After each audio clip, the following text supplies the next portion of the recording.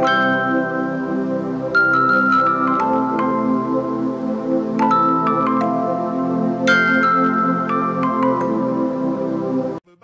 mừng quý vị và các bạn đã đến với bản tin dự báo thời tiết ngày hôm nay và ngày mai. Thưa quý vị và các bạn, trong đêm qua và sáng nay, các tỉnh miền Bắc sẽ không còn khô giáo như hai ngày vừa qua, khi đới gió đông nam được thiết lập và độ ẩm trong không khí tăng lên. Trời nhiều mây có sương mù và một số nơi có mưa nhỏ, với nhiệt độ thấp nhất ở ngưỡng từ 15 tới 18 độ, vùng núi cao thấp hơn.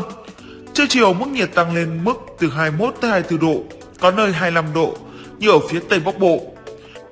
Tuy nhiên, theo dự báo xa hơn, trong những ngày đầu tháng 4, Bắc Bộ sẽ lại tiếp tục đón thêm một đợt không khí lạnh tăng cường nữa vào khoảng ngày 3 tháng 4. Dọc theo các tỉnh duyên hải miền Trung, trong ngày hôm nay, do ảnh hưởng của đới gió đông bắc của không khí lạnh, nên các tỉnh từ Quảng Trị tới Phú Yên và Khánh Hòa trời còn nhiều mây, có mưa rải rác, với thời gian mưa chủ yếu tập trung vào đêm và sáng. Còn tại khu vực Bắc Trung Bộ, bao gồm các tỉnh Thanh Hóa, Nghệ An và Hà Tĩnh, trời ít mưa và nền nhiệt vẫn có ở ngưỡng thấp. Đến trưa chiều, trời hứng nắng, nhiệt độ tăng lên khoảng từ 22 tới 25 độ với khu vực từ Thanh Hóa tới Hà Tĩnh và từ 23 tới 27 độ tại khu vực Quảng Bình tới Quảng Ngãi. Các tỉnh còn lại thuộc khu vực Nam Trung Bộ, nhiệt độ dao động trong ngưỡng từ 26 tới 29 độ, có nơi trên 29 độ. Do sự khuếch tán của không khí lạnh xuống phía Nam, ở các tỉnh vùng cao Tây Nguyên và Nam Bộ trong đêm qua và sáng nay, trời lạnh, ở vùng cao với nhiệt độ thấp nhất dao động trong ngưỡng từ 18 tới 21 độ. Còn ban ngày phổ biến có nắng với nhiệt độ cao nhất ở ngưỡng từ 29 tới 32 độ, có nơi cao hơn ở Tây Nguyên. Và từ 31 tới 34 độ ở miền Tây Nam Bộ. Riêng miền Đông đạt mức từ 34 tới 36 độ. Đến chiều tối, có thể sẽ xuất hiện mưa trái mùa với diện hẹp và trong thời gian ngắn. Và tiếp theo, ngay sau đây sẽ là phần dự báo chi tiết thời tiết của các vùng trên cả nước trong ngày và đêm nay. Mời quý vị và các bạn cùng theo dõi. Khu vực Hà Nội, nhiều mây không mưa, sáng sớm có sương mù và sương mù nhẹ, trưa chiều giảm mây trời hứng nắng, gió đông bắc đến đông cấp 2 cấp 3, đêm và sáng trời rét. Nhiệt độ thấp nhất từ 17 tới 19 độ, nhiệt độ cao nhất từ 22 tới 24 độ.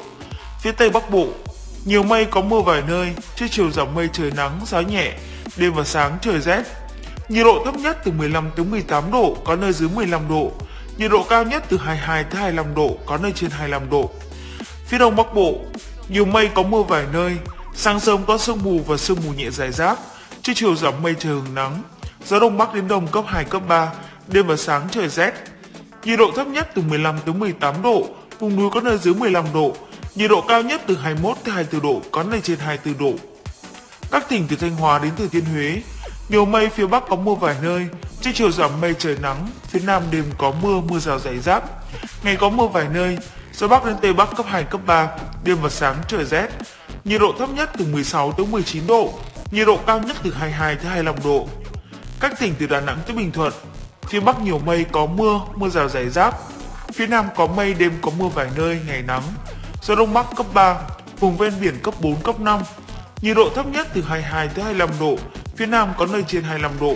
Nhiệt độ cao nhất từ 26 tới 29 độ, phía Nam từ 29 tới 32 độ. Tây Nguyên, có mây đêm có mưa rào và rông vài nơi, ngày nắng. Riêng phía Nam chiều tối mai có mưa rào và rông rải rác. Gió Đông Bắc cấp 2, cấp 3. Trong cơn rông có khả năng xảy ra lốc xét và gió giật mạnh. Nhiệt độ thấp nhất từ 19 tới 22 độ. Nhiệt độ cao nhất từ 27 tới 30 độ, có nơi trên 30 độ. Nam Bộ Có mây chiều tối và đêm có mưa rào và rông vài nơi, ngày nắng. Riêng miền Đông có nơi có nắng nóng. Gió Đông Bắc cấp 2, cấp 3. Nhiệt độ thấp nhất từ 23 tới 26 độ. Nhiệt độ cao nhất từ 31 tới 34 độ. Riêng miền Đông là từ 34 tới 36 độ, có nơi trên 36 độ. Dự báo thời tiết biển Bắc Vịnh Bắc Bộ có mưa vài nơi, tầm nhìn xa trên 10 km, gió Đông Bắc đến Đông cấp 4. Nam Vịnh Bắc Bộ có mưa vài nơi, tầm nhìn xa trên 10 km, gió Đông Bắc đến Đông cấp 4. Khu vực biển từ Quảng Trị tới Quảng Ngãi có mưa rải rác ở ven bờ, tầm nhìn xa trên 10 km, giảm xuống từ 4 đến 10 km trong mưa. Gió Đông Bắc cấp 6, giật cấp 8 biển động. Từ ngày mai gió yếu dần. Khu vực biển từ Bình Định tới Ninh Thuận có mưa rải rác ở ven bờ, tầm nhìn xa trên 10 km, giảm xuống từ 4 đến 10 km trong mưa. Gió Đông Bắc cấp 6, giật cấp 8 biển động. Từ ngày mai gió yếu dần.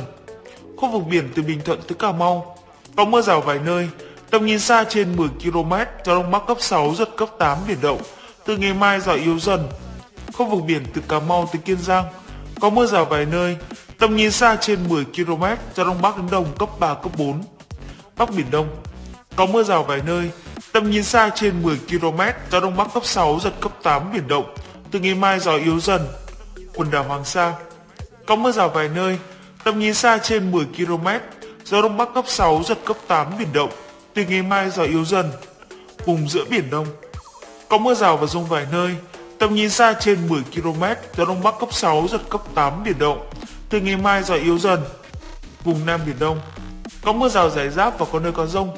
Trong cơn rông có khả năng xảy ra lốc xoáy. Tầm nhìn xa trên 10 km, giảm xuống từ 4 đến 10 km trong mưa. Gió đông bắc cấp 5, riêng vùng biển phía Tây đêm cấp 6, giật cấp 7 biển động. Quần đảo Trường Sa, có mưa rào rải rác và có nơi có rông. Trong cơn rông có khả năng xảy ra lốc xoáy. Tầm nhìn xa trên 10 km, giảm xuống từ 4 đến 10 km trong mưa.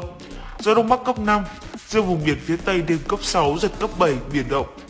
Vịnh Thái Lan, có mưa rào vài nơi, tầm nhìn xa trên 10 km, gió đông bắc đến đông cấp 3, cấp 4. Bản tin dự báo thời tiết ngày hôm nay của chúng tôi đến đây là hết. Cảm ơn quý vị và các bạn đã dành thời gian theo dõi. Xin kính chào tạm biệt và hẹn gặp lại.